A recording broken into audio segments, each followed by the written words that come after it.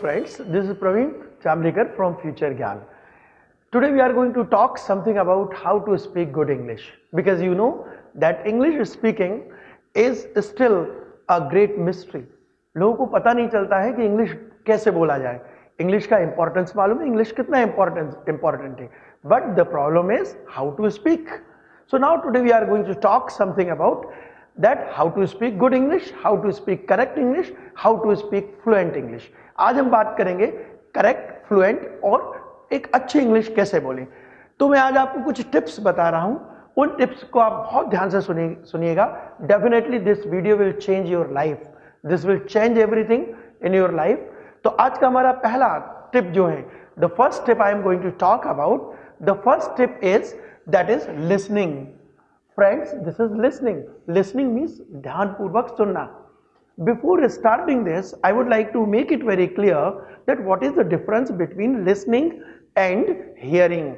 Hearing means only to hear something, whatever we are going to hear, everything. But listening means when we are going to focus on something.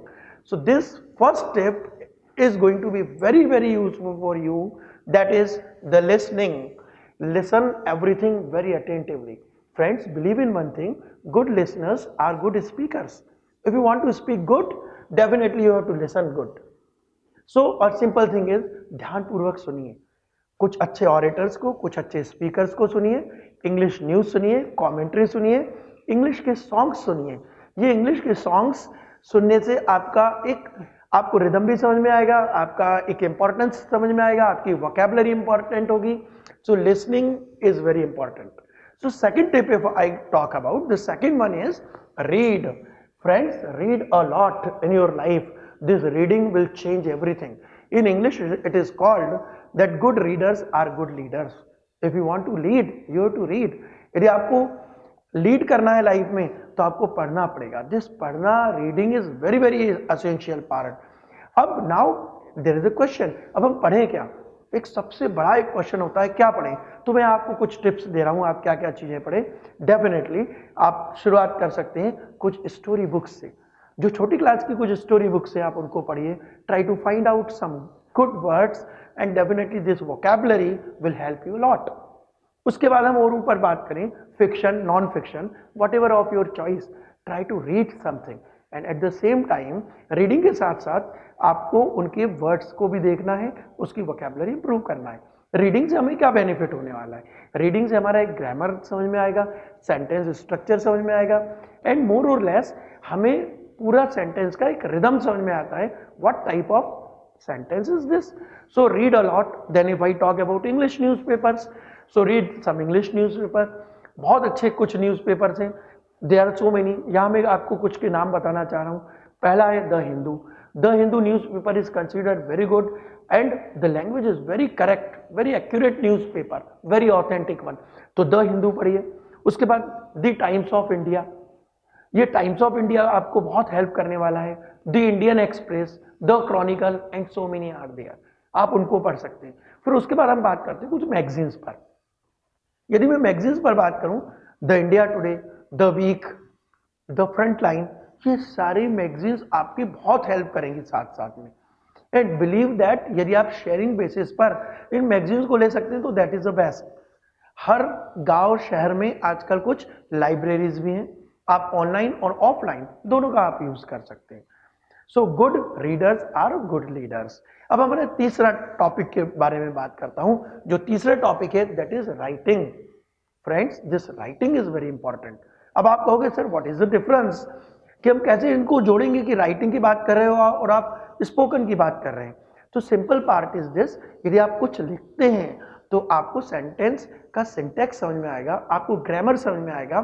So try to write something every day it might be your daily writing आप एक daily diary लिखना start कर दीजिए।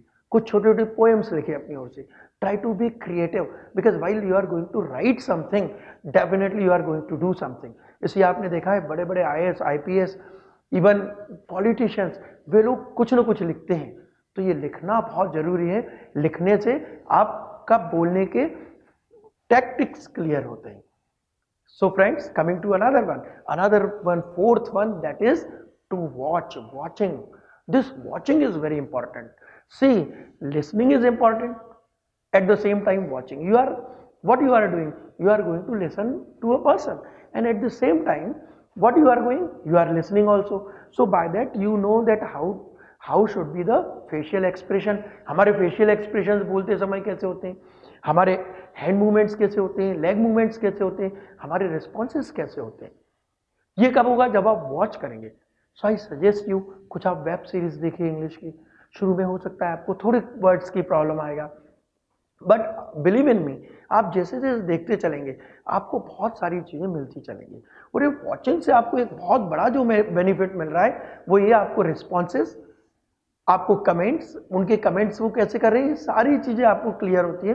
तो that's why watch something watch web series watch some movies कुछ English movies देखिए। और आजकल बिगनर्स के लिए मैं आपको बताऊँ, सबसे बढ़िया उनके नीचे टाइटल हैं सब टाइटल्स हैं। आप सब टाइटल्स की भी शुरू में हेल्प ले सकते हैं। तो that is very important part friends अब हम लास्ट स्टेप पर आते हैं, जिसके लिए हम ये पूरा देख रहे हैं। The last one if I talk about the last one is speaking ultimately you have to speak to improve your communication skills आपको बोलना है। बोलने के अलावा आप कुछ नहीं कर सकते। So I I recommend you very highly I recommend you try to speak छोटे छोटे सेंटेंस शुरू में बोलिए how are you what's there in your lunch where are you from how many siblings do you have ऐसे छोटे छोटे से sentence बोलना स्टार्ट कीजिए। कहा जाता है, तीन चीज़ें जैसे होती हैं that is speaking driving and swimming क्योंकि आपको खुद को करना है। आपका मेंटर आपको सजेस्ट करेगा बट आपको ये चीज़ें खुद को करना है।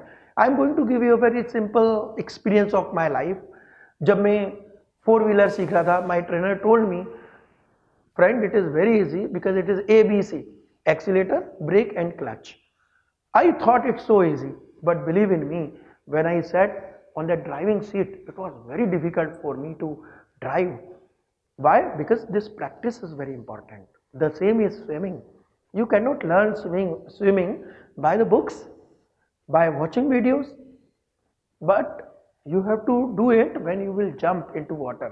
यदि आप डरते रहे कि यदि मैं किनारे पे खड़ा रहूँगा और मैं डरता रहूँ, पानी कितना गहरा है, मैं ये सोचता रहूँ कि पानी कितना ठंडा होगा तो कहना ये swim I can't so friends if you want to go ahead in in your life you have to do yourself गाड़ी आपको खुद को चलाना है।